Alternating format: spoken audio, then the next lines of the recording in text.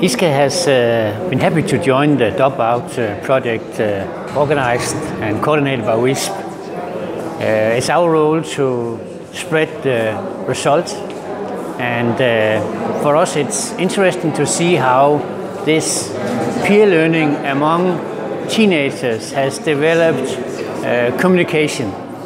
We believe that education and communication about doping is one way to eradicate to get doping out of sports, to get doping out of our thinking, to get doping away from young people for a clean and healthy and joyful sport. The peer learning is the way to communicate among uh, young people.